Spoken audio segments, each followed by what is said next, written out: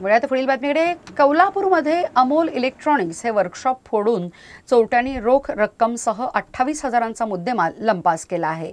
विष्णू रघुनाथ देसाई वर्ष एकोणपन्नास राहणार. देसाई मळा कौलापूर यांनी सांगली ग्रामीण पोलीस ठाण्यात तक्रार दिली असून अज्ञात चोरट्यांविरोधात गुन्हा नोंद करण्यात आला आहे अमोल देसाई यांचे अमोल इलेक्ट्रॉनिक्स नावाने देसाई माळा कवलापूर येथे राहत्या घरासमोर वर्कशॉप आहे.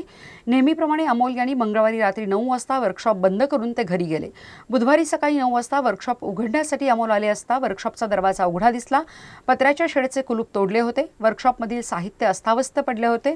यामधील ऐंशी किलो कॉपर वायर पितळी बुश आठ हजार रुपये रोख विजया बँक कुमठे आणि जिल्हा बँक मध्यवर्ती बँक कौलापूर या बँकेचे चेकबुक असा एकूण अठ्ठावीस हजार रुपये किमतीचा मुद्देमाल चोरीस गेल्याचे अमोल यांच्या लक्षात आले.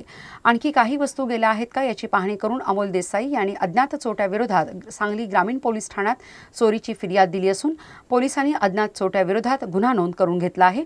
चोरट्यांनी वायर बंडलचे बॉक्स वर्कशॉपच्या मागे असणाऱ्या शेतामध्ये टाकलेले मिळून आले आहेत